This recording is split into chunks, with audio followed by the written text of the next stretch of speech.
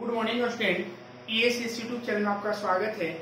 मैं सिकंदर सर, जो chapter two solution का हम लोग लेक्चर नंबर टू पढ़ने जा रहे हैं। पहला लेक्चर में आप लोग बताए थे कि सॉल्यूशन क्या होता है। है ना? सॉल्यूशन कितने कंपोनेंट से बना होता है?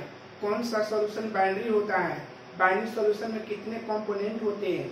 टर्सरी सॉल्यूशन में कितने कंपोनेंट होते हैं? सॉलिड किसे कहते हैं? सॉल्वेंट किसे कहते हैं? एक्वा सॉल्यूशन क्या होता है? और उसके बाद आप लोग को बताए होंगे कि types of solution types of solution तीन होता है। पहला होता है सॉलिड सॉल्यूशन दूसरा होता है लिक्विड सॉल्यूशन तीसरा होता है गैस सॉल्यूशन ठीक है? सॉलिड सॉल्यूशन में तीन हो जाता है लिक्विड सॉल्यूशन में तीन होता है और गैसियस सॉल्यूशन में तीन होता है, इसलिए सॉल्यूशन नाइन हो जाता है। ठीक है? हम्म। तो अब पढ़ेंगे इस वीडियो में कॉन्सेंट्रेशन ऑफ़ सॉल्यूशन समझिएगा कॉन्सेंट्रेशन ऑफ़ सोल्यूशन जो यहाँ से हम लोग का मेन पॉइंट अब जानने वाला है, ठीक है, यहाँ से मेन हम लोग का मेन पॉइंट आएगा। तो कॉन्सेंट्रेशन ऑफ़ सोल्यूशन का मतलब होता क्या समझिएगा। The relative amount of solid present in solution मतलब रिलेटिव का मतलब होता है कि कितना में कितना हम लोग का सॉलिड प्रेजेंट है। सब बोलते हैं ना कि भारत की जनसंख्या इतना है। तो इतना जनसंख्या में कितना लोग यहाँ पर नन इंडियन है और इंडियन है? है ना? तो उसी प्रकार है कि अगर बोला है कि the relative amount of solid present in a solution अगर मान लेते हैं the relative amount of a solid present in a solution present in a क्या बोलेंगे? Solution present in a solution is क्या बोलते हैं? कॉन्सेंट्रेशन ऑफ़ क्या बोलते हैं? ठीक है? जैसे मान लेते हैं, इसको समझिए क्लियर से, कि एक मान लेते हैं दो कंटेनर लिए हैं दोनों कंटेनर में 50 मिलीलीटर वाटर है, इसमें 50 मिलीलीटर वाटर है। और इसमें पाँच ग्राम एनएससीएल है, इसमें 10 ग्राम एनएससीएल है।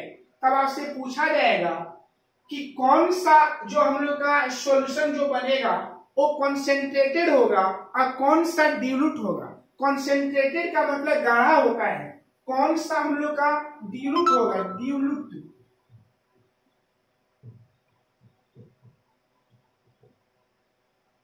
कौन सा कॉन्सेंट कॉन्सेंट्रेट कॉन्सेंट कॉन्सेंट्रेट कॉन्सेंट कॉन्सेंट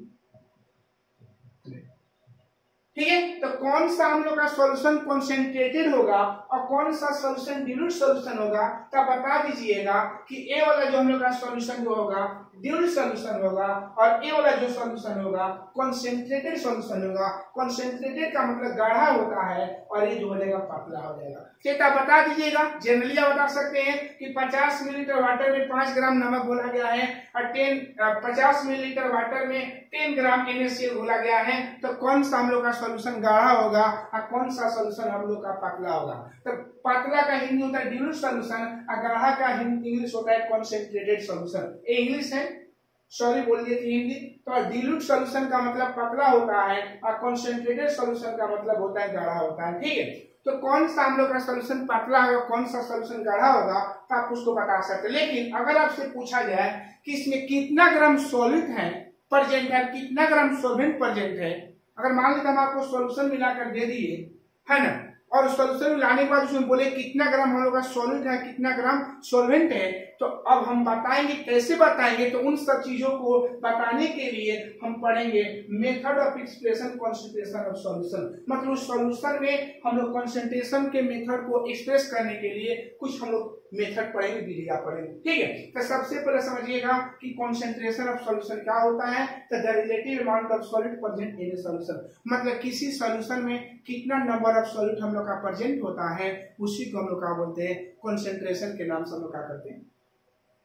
अगर मान लेते हैं कि हमारे पास कोई सॉल्यूशन दिया है अब पूछेंगे उस सॉल्यूशन में मान लेते हैं कि हम कोई शरबत बना है, और उस शरबत में बोल दिए कि इसमें कितना चीनी हम मिला है, अब बता कर दिखाइए तो उन सब चीज़ों को बताने के लिए सबसे पहले हम उस सोल्यूशन का कॉन्सेंट्रेशन ज्ञात करेंगे। क्या ज्ञात करेंगे? कॉन्सेंट्रेशन क्लियर है?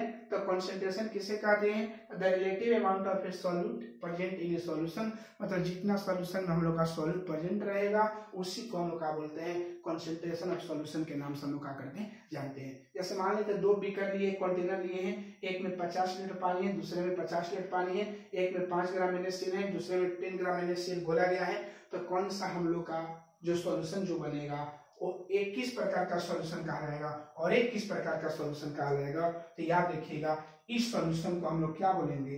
Duet solution D I L U T duet solution बोलेंगे। कौन सॉल्यूशन बोलेंगे? और इस सॉल्यूशन को हम क्या बोलेंगे? इसका विलेज कर दे रहे इसको हम लोग क्या बोलेंगे? कॉन्सेंट्रेट सॉल्यूशन ठीक है? इसको कॉन्सेंट्रेट इसलिए बोले हैं क्योंकि गाढ़ा सॉल्यूशन अभी क्या है सॉल्यूशन पतला है। तो डिल्ड सॉल्यूशन का मतलब समझे पतला होता है कॉन्सेंट्रेटेड सॉल्यूशन का मतलब होता है, गाढ़ा होता है, ठीक है? तो कॉन्सेंट्रेटेड का मतलब यही होता है कॉन्सेंट्रेशन का मतलब यही होता है कि the relative amount of a solute present in solution is called concentrated solution इसको कॉन्सेंट्रेट सॉल्यूशन के नाम से हम क्या करते जानते हैं। मतलब ये हुआ कि अगर कोई बिलियन दिया गया है और उस बिलियन में हम पूछेंगे कि कितना हम लोग का रिलेटिव सॉल्यूट है तो उन सब चीज़ों को बताने के लिए, उन चीज़ों को बताने के तरीका को कॉन्सेंट्रेशन ऑफ़ सोल्यूशन बोलते हैं और उसका बहुत सारे मेथड है। ठीक है? तो पहला हम पढ़ेंगे। परसेंटेज बाई मास जिसको परसेंटेज बाई मास भी बोलते हैं, चाहे परसेंटेज बाई वेट भी बोलते हैं, घबराइएगा वहाँ ठीक है? Percentage by value percentage by mass value चौथा आप लोग का मिलेगा, चौथा लिख रहे हैं। Parts per million parts per million इसको पीपीएम बोलते हैं। फाइव पढ़ेंगे हम मोल फ्रैक्शन। मोल फ्रैक्शन पढ़ेंगे। सिक्स हम लोग पढ़ेंगे। मोलालिटी सेवन पढ़ेंगे। मोलारिटी और एट पढ़ेंगे। नॉर्मालिटी ठीक है? ये ध्यान देना होगा कि जो कॉन्सेंट्रेशन ऑफ़ सॉल्यूशन जो होता है, उसको एक्सप्रेस करने का जो मेथड होता है एट होता है। कितना होता है? एट ठीक है? पहला पढ़ेंगे परसेंटेज बाई वेट या मास बोल सकते हैं। दूसरा परसेंटेज बाई वैल्यू तीसरा परसेंटेज बाई मास वैल्यू